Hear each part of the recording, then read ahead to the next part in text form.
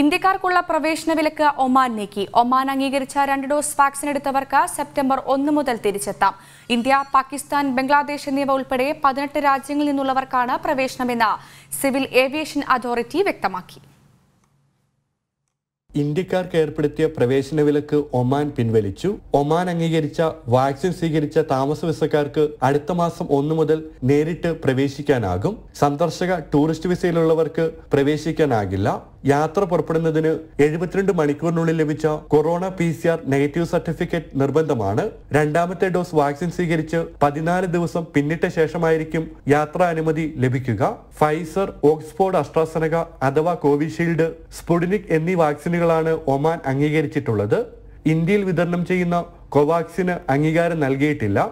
P C R പരിശോധന ഫലമില്ലാതെ വരുന്നവരെ Muscat വിമാനത്താവളത്തിൽ പരിശോധനയ്ക്ക് വിധേയമാക്കും. തുടർന്ന് ക്വാറന്റൈനും ഉണ്ടാകും. യാത്രയ്ക്ക് മുൻപ് പി സി ആർ പരിശോധനയ്ക്ക് വിധേയമാകുന്നവർക്ക് നിർബന്ധിത ക്വാറന്റൈൻ ഉണ്ടാവില്ല.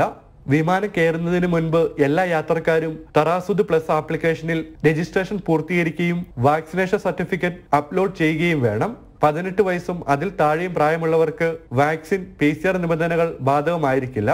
വാക്സിൻ സ്വീകരിക്കാൻ സാധിക്കാത്ത ആരോഗ്യ സാഹചര്യമുള്ളവർക്കും ഇളവ് ലഭിക്കും. നാല് മാസം മുൻപാണ് ഒമാൻ ഇന്ത്യയിൽ നിന്നുള്ളവർക്ക് പ്രവേശന വിലക്ക് ഏർപ്പെടുത്തിയത്. അവധിക്ക് നാട്ടിലെത്തി തിരിച്ചു പോകാനാവാതെ കുടുങ്ങിയ മലയാളികളടക്കം ആയിരക്കണക്കിന് പ്രവാസികൾക്ക് ഈ തീരുമാനം ആശ്വാസകരമാണ്. ജനം മസ്കറ്റ്